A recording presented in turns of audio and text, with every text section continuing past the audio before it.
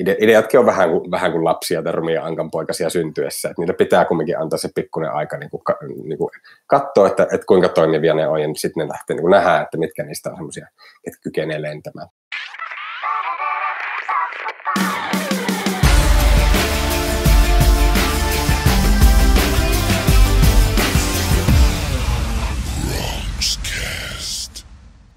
Lämpimästi tervetuloa Bronxcastin pariin. Jakso on 20 taitaa, vaan peräti 21, eli tässä ruvetaan olla ihan veteraaneja. Kohta, kohta meillä linjojen toisessa päässä joku nauraa paskasta. Tässä on nimittäin semmoinen säätäminen ollut, ollut taustalla ja otetaan tätä keskustelua alkua nyt toista, toista kertaa, että meillä vähän pätki nuo systeemit pahemmin, mutta tota, kiitos jo tässä vaiheessa kärsivällisyydestäsi Tato, Tatu Ahonen Suomen Kuopio ja tervetuloa linjoille. No niin, kiitos Arttu. Joo, yritetään tosiaan uudelleen. Tuossa vähän esittelypä, esittelypätkä joudutaan nyt toisen kerran ottamaan, mutta tuota, tämä menkää tämä oppimisprosessin piikkiin. Mutta Tatu, Tatu on luova johtaja bränditoimisto Ahoy Creative. Eli puhutaanko täällä bränditoimistosta, haluatko olla markkinointitoimisto, mainostoimisto, mikä toimisto? Brändi- ja markkinointitoimisto on se oikeastaan, että Joo. eikä määritetä itsemme.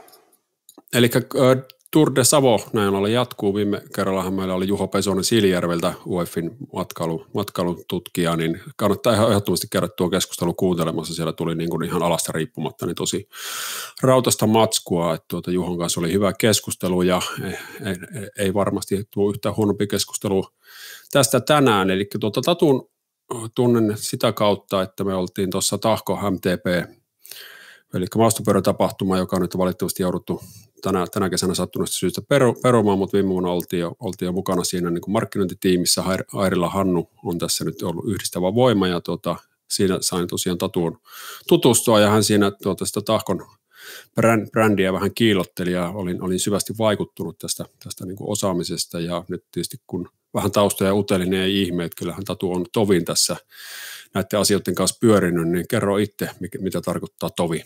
No joo, kiitos Arttu. Tota, no siis mä oon aika lailla juniorina jotenkin ajautunut tähän markkinoinnin ja mainonnan, mainonnan maailmaan, että tota, sen 18 vuotta kerennyt tätä hommaa tekemään, että et, et, ja 18-vuotiaana muistaakseni tuo meidän firmakin on perustettu, joka nyt sitten täl, tässä vaiheessa kolmannella nimellään Ahoy Creativinä kulkee. Aikaisemmin oltiin siis Odi Inc. ja sitä ennen vielä ihan AD Kiivi. Ja, ja tota, nyt sitten tässä ihan hiljattain tänä keväänä niin, niin tota, päätettiin, että, että lähdetään pikkasen tällainen niin kuin itsenäistymisen tielle. Tässä oli muutaman firman kanssa, oli tota, meillä semmoinen yhteinen brändiallianssi ja tota, todettiin, että meidän on parempi tehdä itsekseen näitä hommia niin kuin me halutaan. Ja sitä myötä sitten ollaan Ahoy Creative.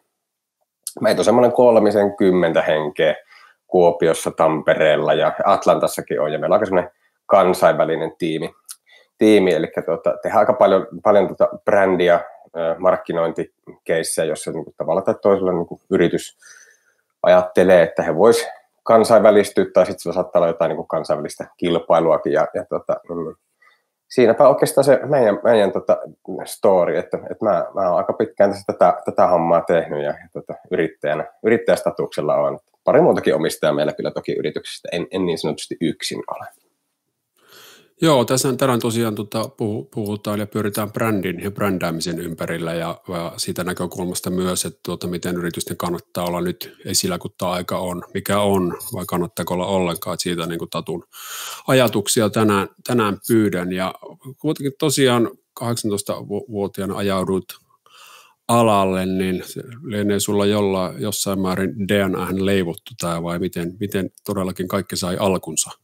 No niin, no en tiedä onko DNA vai mihinkä. Toki mä silleen se on niin tämmöisiä design, designerijuttuja aikanaan tehnyt jotenkin. Ehkä sitä kautta kai sitten lopulta alkoi katsoa tuota markkinoinnin ja mainonnan maailmaa, että siellä jotenkin ihan jäätävä hienoja projekteja, keissejä, juttuja, hienoja brändejä on, että jotenkin sitä kautta kai sitä ajattelin, että vitsi tuommoisen, kun pääsin itse joskus tekemään silloin juniorina ja tuota, itse koulun, koulun penkillä tuota, oltiin tuossa luokkakaverin kanssa ja hän sitten sai usutettua mut semmoiseen projektiin, jossa tehtiin sitten paikallislehtiä, jossa mä sitten pääsin suunnittelemaan mainokset sinne lehteen ja kaveri sitten toimitti ja taittoi sen. Ja tota, niin, niin silloin oli vielä, vielä oltiin niin kuin sillä tavalla junioreita, että ei edes ajokorttiakaan ollut, että tota, ihan sanotaanko kantapään kautta opeteltiin kaikki mahdolliset virheet ja, ja tota, juostiin vedoksia, itse printattuja vedoksia asiakkaille ja, ja, ja et, et, et se on niin kuin se niin kuin alku, alku, mikä silloin aikana ollut. Nythän tämä tietenkin on vähän ehkä erilaista tänä päivänä tämä arki.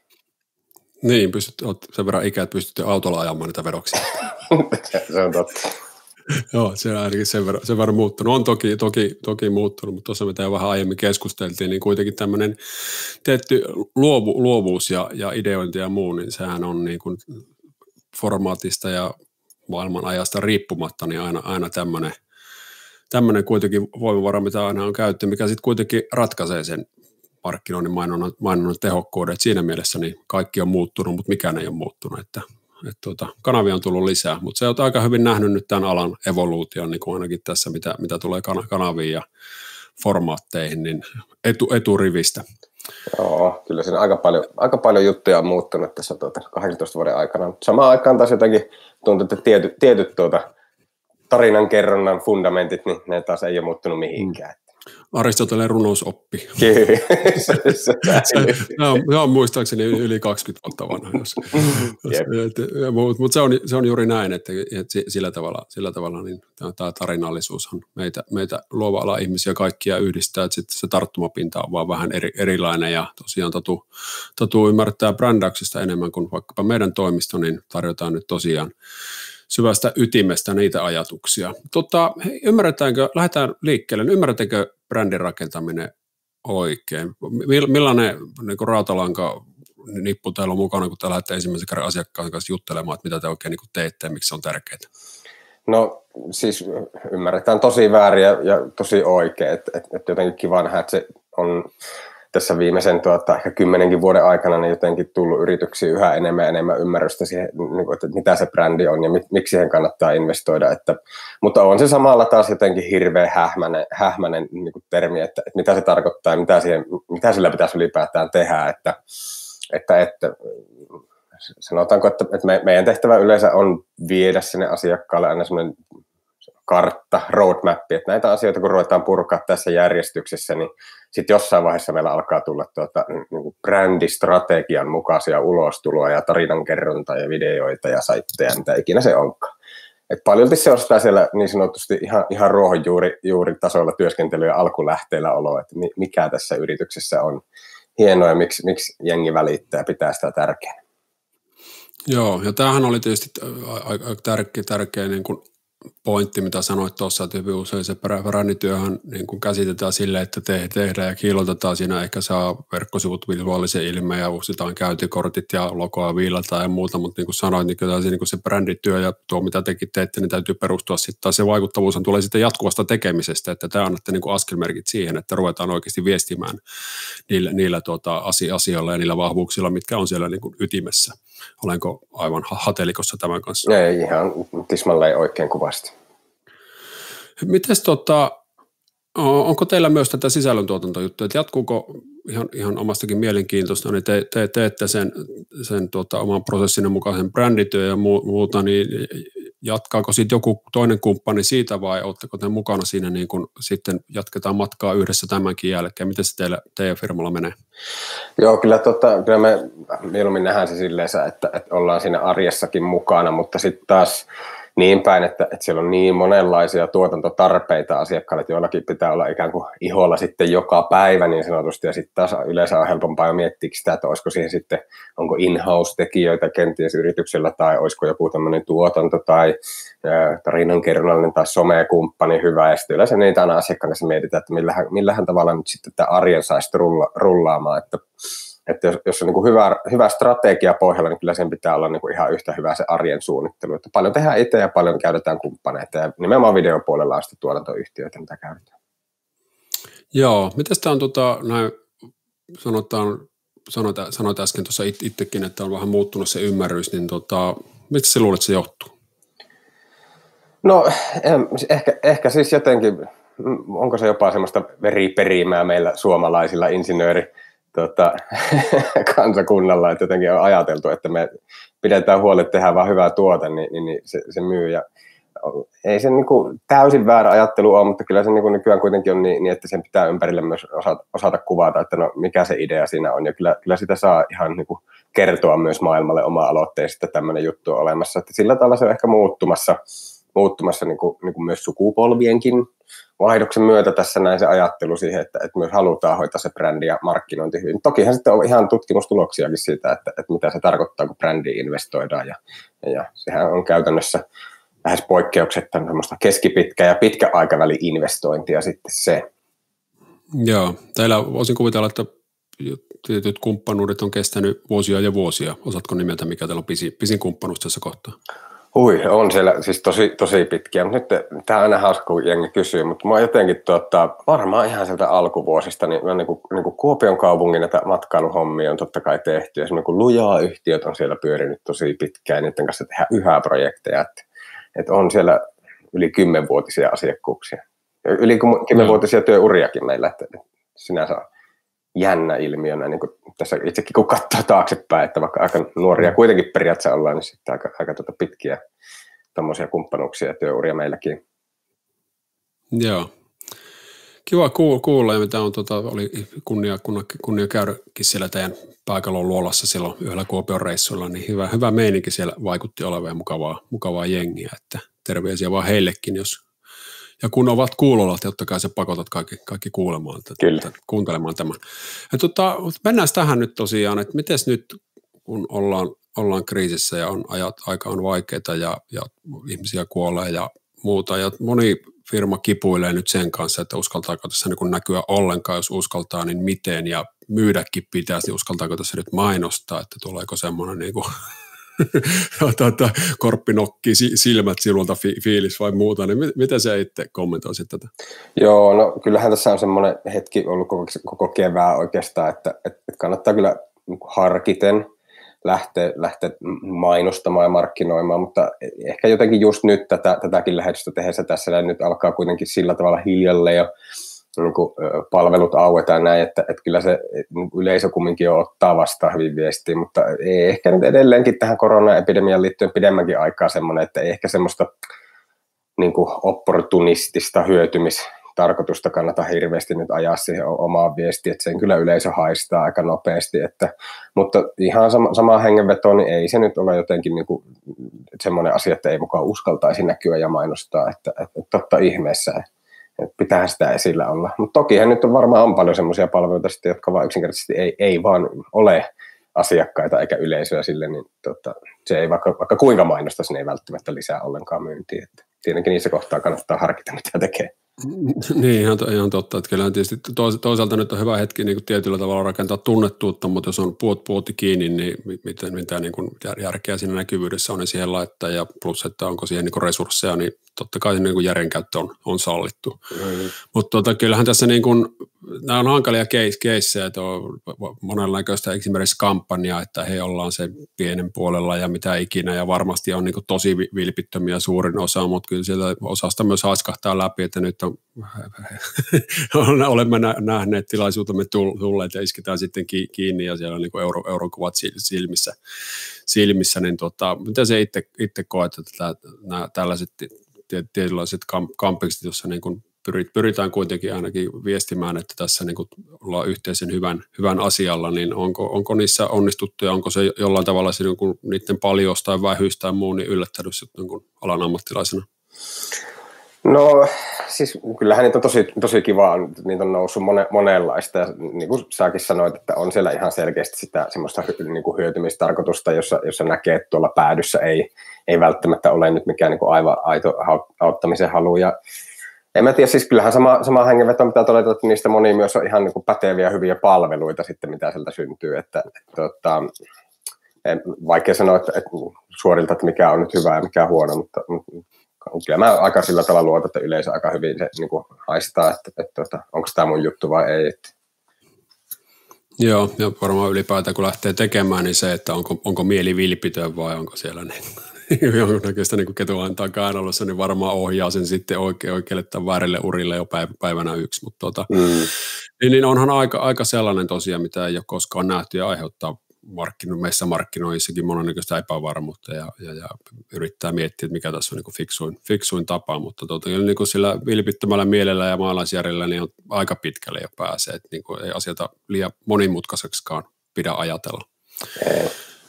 Mistä päästään myös tähän brändin rakentamiseen, että totta, miten, monimutkainen prosessi se on, se kuulostaa niin kuin siltä, että nyt jumalauta maksaa paljon, paljon että se Ahonen laittaa tästä niin kymppitonnin laskuja. Ennen kuin perä, perävalot hä, hävinnyt, tuota, että mi, mi, miten se kiteytä vähän sitä niin kuin prosessia, että jos joku on tätä niin kuin miettinyt jo ihan, ihan niin kuin havinaa, että mistä siinä on kysymys, niin kerro, kerro lyhyesti, mitä se teidän niin kuin duuni, duuni on siinä ydinvaiheessa. No joo, siis sanotaanko, että, että tosi iso osa yleensäkin meillekin asiakkaista tulee, tulee niin sanotusti semmoista niin kuin tuotantovetoisesta ovesta sisälle, että siellä on joku, joku asia, mikä on niin kuin polkassu liikkeelle se niin kuin tarpeen ja, ja että jotakin pitäisi lähteä tekemään. Esimerkiksi vaikka No verkkosivu-uudistus on tosi hyvä, koska sit, siinä joutuu koko yrityksen ja kaikki olemassaolo ja tarjoama ja, tarjoama ja presenssit ja niin kuin asiakaspolut ja kaikki käymään läpi, että se on silleen että, niin kuin hyvä semmoinen niin kuin painetesti brändille, että ollaanko siinä, onko brändi ja brändin niin kuin ymmärrys ja strategia taustalla sillä tasolla, että pystytään sillä tuottaa tehokas verkkosivusto vaikka. Sehän siis voi olla mitä tahansa muitakin kosketuspintoja, mutta käytännössä sitä ylipäätään lähdetään pikkasen aina kyselemään, että no kellekäs me halutaan viestiä ja, ja mikä se loppujen lopuksi heille se tärkein juttu on. Ja aina vähän katsotaan, että mihinkä asti sitä on, on niin kuin näitä portaittain niin kuin suunnitelmaa olemassa ja näkemystä. Ja sitten vähän aina katsotaan myös, miten iso organisaatio sillä saattaa olla taustalla, että et, et, keiden käsissä tämä vaikka tämä brändi on. Ja sitten ruvetaan yleensä miettiä, että no tarvitaanko ohjeistoja, tarvitaanko strategisia määrityksiä, onko meillä useita brändejä vaikka talossa vai olisiko itse asiassa tarve vaikka lähteäkin eriyttämään jotain tuotetta omaksi brändikseen. Ja tämmöisiä, tämmöisiä niin kuin, niin kuin valintoja, strategisia valintoja siellä käydään yleensä läpi, jotka, jotka kirjataan sitten suunnitelmaksi, jota sitten, joka tehdään siis sen takia, että, että se saadaan yleensä muutamien ihmisten selkärangasta ja päästä ikään kuin ulos ja kiteytettyä, että moni muukin ymmärtää, että mitä tässä ollaan tekemässä, miksi ollaan tekemässä ja miten me ollaan erilaisia tai miten me tämä asia tehdään. Ja, ja sitä se oikeastaan se brändityö siellä taustalla on. Ja tämä, missä määrin tämä tapahtuu yhteistyössä asiakkaan kanssa? Onko se välttämätöntä vai, vai tota, pystyttekö te tuolla kokemuksella on vaikka ensimmäisen tapaamisen jälkeen niin pääsemään jollekin, jollekin tasolla? Että miten tämä sitoo niin asiakkaan omia, omia resursseja? Kyllä se ihan välttämätöntä on, että se asiakas on siinä mukana ja myös asiakkaan asiakkaat. Että, että, että käytännössä se on kuitenkin niin, että, että kaikki parhaat brändit aina rakentuu sisältä päin. Et, ei, en, en usko, että on kovin montaa semmoista tuota, Kristusta, joka kävelee sisään ja sanoo tuota kymmeniä vuosia toimineelle firmalle, että kas näin teidän pitääkin näitä hommia tehdä. Ja tämähän se on se teidän juttu. Ei, ei, ei, ei todellakaan ole se asia niin, että, että ilman muuta se asiakkaan ja sie, siellä olevien niin kuin avainhenkilöiden se koko, koko näkemys ja tietotaito ja historia ja tuntuma siitä alasta ja näke, niin kuin, mihin se ala on menossa, niin sitä kaikkea siellä niin kuin kaivellaan ja mietitään, yritetään, niin kuin, meidän tehtävä on vaan kuulla niitä tosi tärkeitä juttuja sieltä niin kuin riveiltä ja rivien välistä ja sitten taas kysyä lisää, jotta niistä saadaan sitten semmoinen eheä kokonaisuus ja voidaan todeta, että, että no niin, tällainen paketti tai tällainen brändi nyt sitten olisi ehkä, joka sitten voisi alkaa tuohon tuota, teidän näkemykseen vastaamaan tai teidän liiketoimintaa ilma, ilman muuta. Me tehdään tosi paljon haastatteluja, workshoppeja ja, ja tota, sit niinku ihan, ihan niinku asiakkaan asiakkaitakin osallistetaan siihen tekemiseen. Joo. Tota, onko asiakkaat pääsääntöisesti helppo saada sitoutumaan tähän? Se kuitenkin vie, vie heiltä aikaa ja sitä sitoutumaan ja ehkä innostumaankin. No kyllä se on ainakin meidän kokemus ollut. Toki siinä aina sen työ alussa pitää niin kuin hirveän rehellinen olla, että nyt me lähdetään niin kuin käsikädessä tätä hommaa tekemään. Nyt tämä vaatii meiltä molemmilta nyt kontribuutiota. Että, että, Mutta mut se kun on niin kuin nähty, että se on tarpeen ja, ja ymmärretty, että miksi se tehdään, niin kyllä mun kokemusta, että, että lähes poikkeuksista asiakkaat haluaa olla. Ja, mutta totta kai meidän tehtävä on tuoda se struktuuri siihen, että, että me kerrotaan sitten, että nyt löydetään tämmöisessä järjestyksessä näitä asioita käymään läpi ja, ja, ja sitten, sitten siitä eteenpäin se on oikeastaan asiakkaalle helppo, että sen kun heittäytyy prosessin vietäväksi. kyllä, kuin, kuin lastulainen illo. kyllä. kyllä, niin tota, joo, hyvin mielenkiintoista. Miten pitkästä prosessista, totta kai erilaisia, mutta niin kuin silleen keskimäärin puhutaan tässä? Palikat on paikalla? No kyllä kokemus on sille ollut, että, että kun ne kuitenkin on aika pitkän tähtäimen juttuja, niin se ei ainakaan kannata lähteä kiirehtiä. Että kyllähän siellä tosi monesti aina tulee semmoinen tilanne, että nyt messut tai joku juttu mikä pitäisi saada tosi nopeasti mutta aika monesti niissäkin on todettu, että, että, että, että hoidetaan tuo ja nyt lähdetään taustalla rakentaa tämä brändi ja tehdään ulostulo sitten tuossa niin kuin joidenkin kuukausien aikana. Että ihan, jo, ihan jo senkin takia, että tietyt niin kuin ideat ja asiat kerkiää kypsyä päässä, ettei silleen niin kuin, niin kuin ideatkin on vähän kuin, vähän kuin lapsia, termiä ankanpoikasia syntyessä, että niille pitää kumminkin antaa se pikkuinen aika niin kuin, niin kuin katsoa, että, että kuinka toimivia ne on, ja sitten ne lähtee niin kuin nähdä, että mitkä niistä on semmoisia, että kykenee lentämään, ja, ja niitä lähdetään sitten jalosta. Muutamasta kuukaudesta on niitä, on niitä semmoisia vuodenkin prosesseja käyty läpi, ne vähän ehkä rupeaa olla jo painavista. Joo.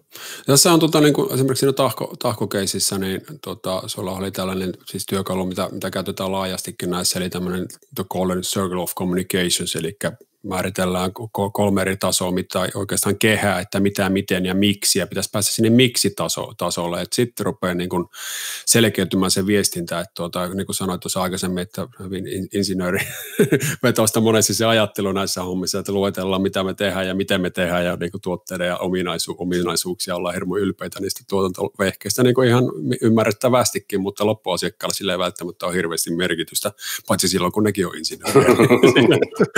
silloin voidaan jättää se kes, keskitaso niin kuin kokonaan, kokonaan pois, mutta tuota, tosiaan päästä siihen miksi, kysymyksiin, miksi olemme olemassa ja miksi, miksi sillä on niin kuin merkitystä, niin tuota, miten, miten hienoja tilanteita nämä on, kun se oikeasti kirkastuu sille firmalle, että jumalauta, että mm tämähän se on, tämähän se, on se juttu. Kun nimittäin ainakin itse monesti näette, niin kuin tehdään paljon myös työpajamenettelyllä duunia ja melkein se niin kuin paras anti on, kun näkee sen niin kuin siellä asiakkaan päässä, kun silmät rupeaa loistamaan ja jumalauta, että tämähän on se, niin kuin mikä on ollut pitkään, ehkä vuosiakin kadoksissa vähän tämä niin kuin ajatus, että miksi tätä on ruvettu, ruvettu tekemään, niin miten helppo se on kuoria se sipuli, että päästään sinne ytimeen. Onko se se nimenomaan se kuukausien duuni ja sitten se on vai, vai päästäänkö tälle, tähän miksi-tasolle aika nopeastikin ja ruvetaan siitä sitten niin vetelee niitä lankoja eteenpäin? No siis ei se nyt kuukausia mene siihen, mutta kyllä se nyt pienen tovin vie, mutta yleensä se on niin kuin tälle, tälleen keskustella ja jutella, ja mulla niin kuin itsellä on semmoinen niin kuin oma, oma huomio, että heti kun mä huomaan, että, että jengi rupeaa niin kuin kertomaan tarinoita, juttuja tai jotakin kun tapahtuu tai sitten se sanoo silleen, niin sitten yleensä mulla on sellainen fiilis, että no nyt ollaan miksi-tasolla. Se johtuu siitä, että kun ne miksi-taso asiat on kaikki ne oikeastaan niin kuin tunneasioita, niillähän ei niin kuin yhtä sanaa sinänsä ole. Että et jos haluat kuvata jonkun tunteen, niin se on pakko kertoa se story, mitä siinä tapahtuu. Ja heti kun ihmiset alkaa kertoa storeja, niin tota, sitten se alkaa niin haistaa, että no niin, nyt ollaan jonkun, jonkun tota isomman äärellä. Ja siellä yleensä, siellä saattaa vaikka yrittää kertoa, että milloin tuntuu ihan niin kuin järkyttävän hyvälle vaikka duunissa. Ja sitten, niin kuin, että no mitä silloin tapahtui? No siinä oli tämmöinen tilanne. Ja sitten se kertoi omaan tarinansa ja sitten minä autoin sitä ja sitten kaikki oli, että, että, että, että se on semmoinen, että, että sitä ei oikein muuta pysty mitenkään kuvaamaan muuta kuin tarinoiden kautta. Yleensä sieltä löytyy sitten kultajyvää, että no niin, tuossa on todennäköisesti paljon sellaista, minkä takia vaikka koko asiakaskunta välittää sinusta tai teidän yrityksestä tai teidän tarinasta. Ja, ja se, se oikeastaan, sanotaanko, että ka- kaikista vähin, vähiten tekemistä strategisten asioiden kanssa on sillä miksi-tasolla, mutta se on pakollinen siltä ensin kaivaa. Kyllä. Ja tämähän on tietysti ihan mielenkiintoista, koska onhan jokais, jokaisella niin kuin firma, se on ihan täynnä tarinoita, mutta sitä ei ehkä it, itse tunnistaa ennen kuin joku rupeaa vähän lypsämään, että hei kerro sitä ja kerro tätä. Ja sitten se tietty inhimillisyys tulee sitä kautta. Ja myös, myös niin kuin ne vaikeat ajat, että on niin kuin näitäkin niin kuin ihan menestyviä firmoja meidänkin asiakkaana, jotka on, niin kuin sit, kun on ruvettu niin kuin juttelemaan, niin ilmennyt, että joskus vuonna, vuonna Paavo Nurminen oli niin kuin vartin päässä, ettei menty konkkaa. Ja sitten, että, että ei kerrotaan näitäkin niin kuin ulospäin. Jengi tajuaa, että ei tässä niin kuin aina, aina olla tässä tilanteessa, mutta hirmu ujosti kerrotaan niitä, niitä halutaan niin kertoa niitä, näitä tämmöisiä vähän ikävämpiä tai inhimillisiä asioita, mutta mun mielestä ni, ni, niitä pitäisi kertoa tosi avo, avoimesti, että se tuo sen tietyn semmoisen niin kuin, no, no ehkä inhimillisyyden siihen juttuun ja luo sen pe- persoonan tälle, tälle niin kuin yritykselle. Että tota, oletko törmännyt samaan, että näitä, niin kuin näiden tarinoiden käyttöä, niin vähän niiden kanssa himmaillaan. Ja pahimmillaan se on sitä, että niin kuin mietitään, että mitä kilpailijatkin tästä ajattelee. Ja yeah. sitten sit, sit joutuu lyömään jo vähän nyrkkipöytiä, että jumalauta, että se on niin kuin viimeinen taho, taho kenen, kenen ajatuksista me niin kuin piitataan. Mutta tota, mitä avo, avoimia yritykset on viestinnässä tänä päivänä? No siis, no, tosi, tosi hienosti kyllä sanoit tuon, että, että semmoinen ehkä helpoin, helpoin tuota kulma yleensä on just kuunnella, että kertokaa teidän niin kuin, ikään kuin historia, teidän, teidän tarina, ja sieltähän se yleensä lähtee, että joku kertoo, että milloin perustettiin ja mitä silloin tapahtui ja näin, ja sanotaanko, että, että, että vaikka bränditarina tai yrityksen tarina, niin sen ei siis, siis tulisi sellaisena olla historiikki, vaan että, että, että historiasta todennäköisesti löytyy sellaisia asioita, jois, jo, jo, jotka on vaikka relevantteja yhä tänään, tai jo, sieltä löytyy vaikka arvomaailmaan liittyviä juttuja, tai että voidaan sanoa, että, että siitä päivästä eteenpäin, kun tämä tapahtui, niin me ollaan oltu samalla missiolla. Tiedätkö, että, että tällä tavalla, kun se niin kuin kaivetaan, että, että, että se ei ole historiikki, joka päättyy tähän päivään, vaan nimenomaan asettaa tästä päivästä eteenpäin sen niin kuin uuden suunnan, niin silloin sillä niin kuin on se niin kuin brändin tulevaisuudenkin kannalta jotakin merkitystä. Joo, hyvin, hyvin kiteytetty, jos joku ymmärsi, mutta tuota, kiitoksia. Tässä oikeastaan oli nämä, nämä minun kysymyspatterista ja on tosiaan tämän säätämisen kanssa pitänyt sinun koko iltapäivä tässä, tässä linjoilla, niin pidetään tämä, tämä suht napakkana. Mutta tähän, tähän loppuun vielä, niin mistä sinut saa parhaiten kiinni? Minut saa ihan puhelimella tai sähköpostilla kiinni, että, että, että, että mielellään, jos tulee kyssäreitä, niin aina, aina, aina jeesaan. Tota, ja auton sparraan sinne, että miten brändejä kannattaisi lähteä kehittämään ja mielellään myös sitä, että, että minkälaista roadmapia itse kuulee, että mitä kannattaisi lähteä seuraavana tekemään, niin tota, saa lähestyä kyllä sähköpostitse ja puhelimitse. Onko jotain firmatyyppiä, jotka koetetaan, että tästä on erityisen paljon niin kuin apua vai jokaisen matka on vähän tietysti erilainen ja kaikille jotain, jotain tarttuu matkaan, mutta onko jotain toimialaa, jos kuuntelet tässä nyt miettii, että voisiko tämä olla me, meille, niin tota, onko, onko jotain niin suosituksia, kenelle erityisesti kannattaisi ottaa teihin yhteyttä tässä sinun? Joo, no siis meillä on aika paljon, no siis tosi laaja, laaja kattaus, meillä on ihan P2C ja P2P-asiakkaita. Ehkä voisi sanoa, että kuitenkin se painotus on siellä tota, P2P-puolella, jossa, jossa tota, sille, niin kuin yritykselle aina luodaan se semmoinen kestävä, pitkä, pitkä, tota, pitkäjänteinen suunnitelma ja, ja brändiuudistus ja rakennetaan se niin presenssi ja kommunikaatio uusiksi, että, että tota, sieltä puolelta ne yle, yleensä löytyy ne meille semmoiset tota, niin niin kuin parhaimmat tota, keisit, joissa tykätään itsekin olla mukana. Ja siinä on ehkä jotenkin Suomellekin jotenkin sanoisin, että tähän loppuu semmoinen tota, hieno, hieno tota, mahdollisuus, koska tota, kyllähän niin kuin, suomalainen osaaminen niin kuin, on erittäin kovaa, mutta sitä vaan pitäisi meidän opetella kertomaan tuolle muulle maailmalle yhä paremmin. Se on ehkä jotenkin semmoinen meillekin nyt vuosien saatossa osoittautunut, että siinä me voidaan oikeasti olla isoksikin avuksi meidän asiakkaille. Joo, kyllä. Ja tota, firman verkkosivut on, kuka haluaa käydä tutustumassa, niin kerro meille vielä se. Joo, ahoi.fi. Eli siinä on tämmöinen merellinen huudahdus ja kaksi oota. Eli ahoi.fi. Ja, ja tota, sieltä kannattaa käydä vilkuille, että ketä, Joo, me ollaan.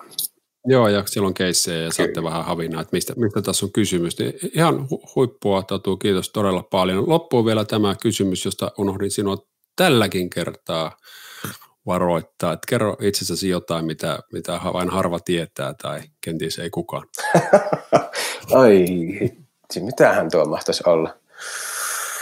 Jaa, no en, en tiedä, tietenkin tässä, no, mitähän mä nyt sanoisin. Mä oon ihan prätkällä, mä, ha, mä niin ha, että tota, niin, niin pääsisin oikeasti niin naatiskelemaan vielä tuota, sitä mutkapätkistä, että rän, rännän paskua on puotellut taivaalta kyllä niin paljon, että tota, niin, niin, niin, siinä olisi kyllä semmoinen juttu, että tuonne prätkän selkään, kun pääsisi tuota, niin, niin, niin, niin, jopa, jopa tuota pidemmällekin reissulle jossain vaiheessa, niin tota, tämä ehkä tälle henkilökohtaisesta harrastuksesta niin olisi ihan kiva, kiva semmoinen juttu. Rätykkä hommi siis. Joo, no nythän näyttää jo huomattavasti paremmalta, kun Kyllä. ikkunasta ulos, ulos katsoo, että sikäli kun kiireeltä siinä löydät, niin käyhän pyörähtämässä. Mutta hei, mahtavaa kesää ja kiitos ajastasi Tatu. Ja hei, olkaahan ihmiset yhteyksissä, niin tota, ihan varmasti sieltä jees, jeesiä tulee, että on kokenutta poru, porukkaa ja tota, luovaa mie, mieltä ja, ja, ja tosi, tosi kivoja keskusteluja, mitä silloin, silloin käytiin siinä tahko, tahkokeississä, niin tota, aivan ehdottomasti pystyn, pystyn kyllä suosittelemaan tämän firman osaamista. Niin kiitos Tatu ja hyvää kesää. Kiitos Arttu. Ja kiitos, ja kiitos kaikille kuuntelijoille. Sitten tästä oli teille taas tarttumapintaa, niin me palaamme aihioon jälleen ensi viikolla. Se on moro.